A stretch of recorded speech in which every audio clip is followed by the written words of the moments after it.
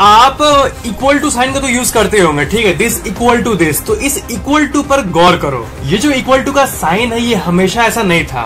उसके पहले लोग जो टिपिकल इंग्लिश में लिखते हैं ना आई एस इक्वल टू देखो, ऐसा इज़ इक्वल टू इतना बड़ा करके लिखना पड़ता था। तो क्या हुआ कि एक साइंटिस्ट को इससे तंग आने लगा कि मतलब क्या, इसको शॉर्ट में नहीं लिख सकता क्या? इक्वल टू को इज़ इक्वल टू लिखो, उससे अच्छा कुछ साइन इन्वेंट करते हैं।